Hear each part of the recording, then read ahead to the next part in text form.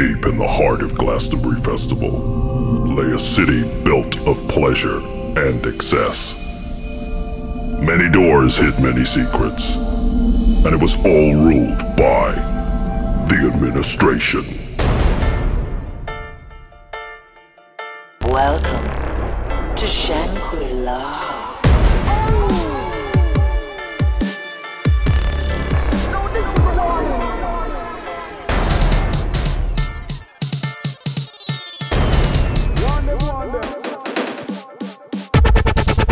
One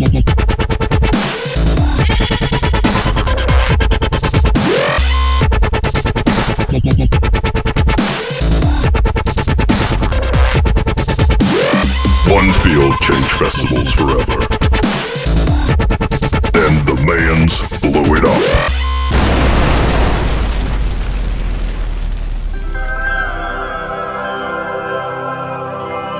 Now, the one and only Shangri-La returns to Glastonbury Festival in the afterlife.